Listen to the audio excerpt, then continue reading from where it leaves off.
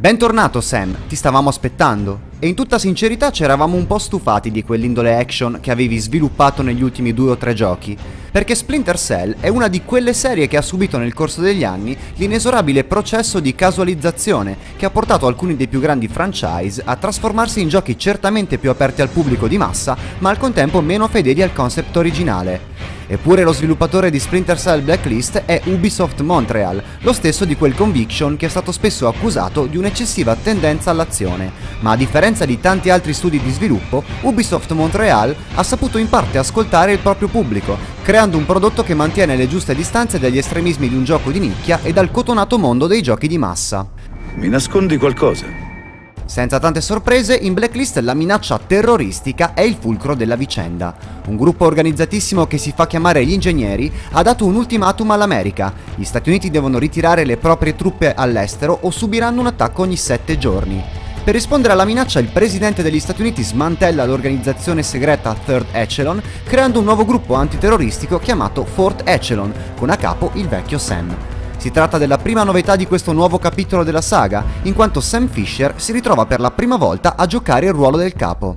Le prime sequenze di Splinter Cell Blacklist ambientate sull'isola di Guam ci danno subito un'idea di quanto questo gioco si sia mosso nella direzione giusta.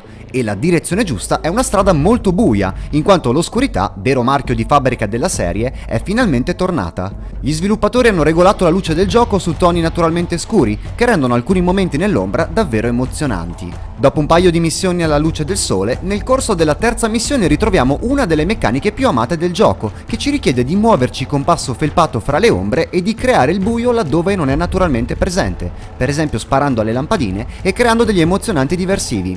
Questo gioco non è totalmente un ritorno alle origini, in quanto introduce alcuni elementi di adattabilità ai diversi palati dei giocatori. Nello specifico gli sviluppatori hanno introdotto tre possibili metodologie di gioco, che rispondono al nome di Fantasma, Panther e Assalto. Lo stile fantasma è quello che i fan storici della serie chiedono a gran voce da parecchio tempo e che richiede di aggirare i nemici piuttosto che affrontarli. Lo stile Panther invece incarna quello dell'assassino silenzioso. I nemici in questo caso vengono affrontati, ma si mette fine alla loro esistenza prima ancora che questi si accorgono di essere stati attaccati. A supporto di tale stile di gioco fa ritorno il controverso Tag and Kill, che farà storcere il naso ai puristi, ma che è stato fortemente limitato. Infine è possibile approcciarsi al gioco con uno stile d'assalto che tuttavia non facilita di molto il compito. Se si viene scoperti i nemici aumentano e con un paio di colpi è facile finire a terra.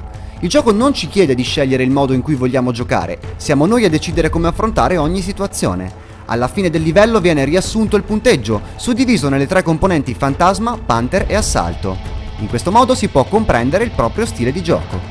Uno degli aspetti più sorprendenti di Splinter Cell Blacklist è dato dall'intelligenza artificiale, coadiuvata da qualche opportuna scelta di programmazione. Quando i nemici non sono in allerta, la loro intelligenza è fortemente limitata, si limitano a seguire dei pattern preimpostati ed è facile ingannarli. La vera sorpresa giunge nel momento in cui i nemici vengono messi in allerta. Non solo tendono a convergere sulla nostra posizione, ma lo fanno anche utilizzando percorsi secondari, tentando di circondarci e talvolta dividendosi in piccoli gruppi. I programmatori hanno inoltre avuto un'idea davvero brillante. Se siete quel genere di giocatore che ama l'approccio stealth, vi ritroverete spesso a ricaricare una sezione di gioco dopo un errore. In Blacklist il pattern dei nemici viene resettato e rimescolato al terzo tentativo andato a male. Questa semplicissima idea rende il gioco imprevedibile, più difficile del previsto e naturalmente molto soddisfacente. Alla fine di ogni missione il nostro Sam riceve un bonifico. I soldi ottenuti possono essere spesi per migliorare la base o personalizzare l'outfit di Sam, con vestiti e armi più orientate all'azione o allo stealth. Buona anche la dotazione dei gadget, che include vari tipi di visore e un sacco di oggettistica alla 007, tra cui un drone radiocomandato e delle favolose telecamere appiccicose che possono stordire nemici o autodistruggersi causando la morte degli ostili nel raggio di qualche metro. A questo si aggiungono numerosi diversivi sonori, fumogeni, granate, lacrimogeni, taser ed esplosivi di varia natura. Ma cazzo, no, non ci posso credere! Splinter Cell Blacklist gode inoltre di una modalità cooperativa davvero divertente. Nonostante le missioni esclusivamente cooperative siano relativamente poche, quelle promiscue per singole coop si giocano con approcci completamente differenti in compagnia di un amico e permettono di attivare percorsi alternativi altrimenti inaccessibili, che spesso variano in maniera quasi totale il modo in cui ci si orienta nella mappa. Nel complesso le missioni del gioco si avvicinano alla trentina, ma le 12 missioni in single player si possono ultimare in una decina di ore. Un passo avanti rispetto al brevissimo Conviction, ma certamente nulla di eclatante. È evidente dunque che per prolungare la durata del pacchetto è consigliabile affrontare anche le missioni secondarie, che potrebbero quasi triplicare la durata del gioco, sebbene diano il meglio di sé in compagnia. Il multiplayer, vale a dire la modalità Spice vs Mercs, è finalmente tornato. Il gioco ripesca la tanto amata modalità online di Chaos Theory, con risultati davvero eccellenti in termini di coinvolgimento dei giocatori. Senza troppe sorprese, Splinter Cell Blacklist è il gioco graficamente più evoluto della serie. In tutta onestà, non ci sono giganteschi passi in avanti rispetto a Conviction dal punto di vista dei modelli, ma la conformazione variegata degli ambienti è certamente posta un gradino più in alto rispetto al passato. Le varie location sono uniche e ben caratterizzate, accompagnate da texture variopinte e ben definite. Dal punto di vista del sonoro, il gioco sancisce l'atteso ritorno di Luca Ward alla voce di Sam Fisher. I nostalgici certamente ameranno risentire la duttile voce di Ward interpretare il freddo protagonista della saga. Buoni quasi tutti i personaggi secondari, mentre i personaggi minori offrono spesso performance al limite del ridicolo. Vi daremo la caccia fino all'ultimo, figli di puttana! Splinter Cell Blacklist è un continuo crescendo. Quando credevamo che il gioco sarebbe stato l'ennesima svolta action, gli sviluppatori ci hanno sorpresi con un titolo che fa l'occhiolino al passato e che offre alcuni scorci di gioco interpretabili con un approccio d'altri tempi.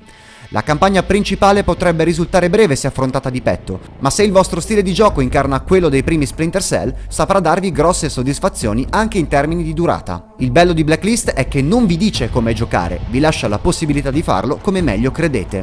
I nuovi fan troveranno buoni motivi per acquistare questo gioco e fortunatamente anche i vecchi fan quest'anno potrebbero godersi un gioco della saga che non sembri totalmente sradicato dal suo contesto. Se a questo aggiungiamo un corposo multiplayer e una modalità coop che merita davvero di essere giocata, la qualità complessiva del pacchetto sale a dismisura. Sam è di nuovo fra noi.